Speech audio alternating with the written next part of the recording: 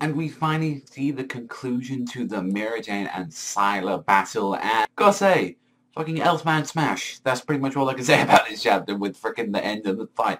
So one thing that really caught me in this chapter and what I really liked was that we got a lot, and I mean a lot of backstory between Mira Jane, Lisanna, and Elfman. I thought that was a really nice thing to add at the end of this fight, this chapter, when Mirajane was trying to use a takeover on Sayla, because she just does, it just doesn't work, and she can't win normally because she is way too strong.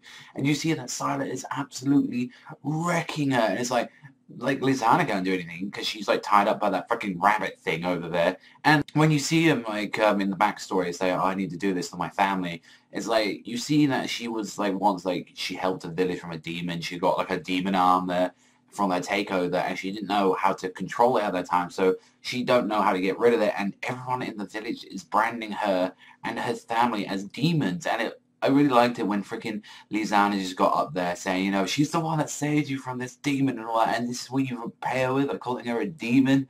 I thought that was really strong. That these siblings really care for each other, and they show that, you know, that all the time. And when they finally reached Fairy Tail, like, it was especially sad to see, like, when um, Mirajane could not even make any friends or didn't want to talk to anyone because she did generally start thinking that she was a demon, and she thought the best way to do it was by leaving Lisanna and Elfman there since they were enjoying themselves. And it's like I'm just going to go on my own. I'm just going to be alone traveling and just to see what those two do for her when they find out you know oh we've learned the same magic as you. You know we've done that. We can do takeover as well. And it's like yeah I can only do my arm though. It's like and like Lisanna's there with the cat one. It's like they don't care. They're family. They stick together. And that was a meaningful part of the chapter.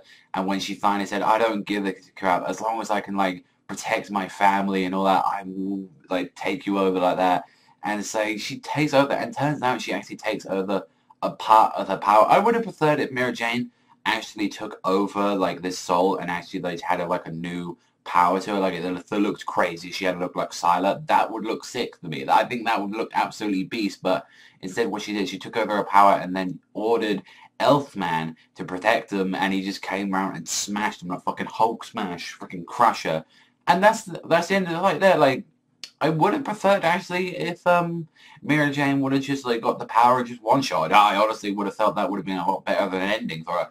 Even still, this was a very good fight. I feel for the theater. This probably was one of the best fights. Um, alongside the Wendy versus Ezel fight. Like this is probably one of the second favorite fights so far in Tartaros. It was a very good fight, and I really can't wait to see what's going to happen next in Fairy Tail. It was like an enjoyable chapter. We had some sad stuff go in the middle. Like, it's, it's especially just nice. Like, because when was the last time we ever got any content on, like, Mira Jane, Lisanna, Elfman? And it's, I guess that it's just a suiting way to end it It's like, the whole family's reunited. Just like that. And I thought that was a really touching moment. But let me know what you think in the comment section down below. What did you think of this chapter of Fairy Tail? Was it dope? Was it uh?